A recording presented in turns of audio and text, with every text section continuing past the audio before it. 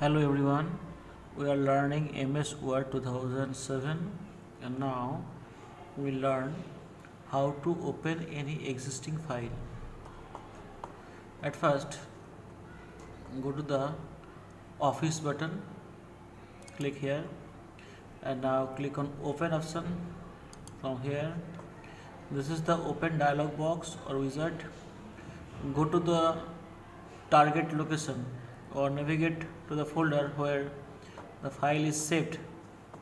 So I know my file is saved in D drive like this open D drive and now this is my file uh, document 1 select this one and now click on open.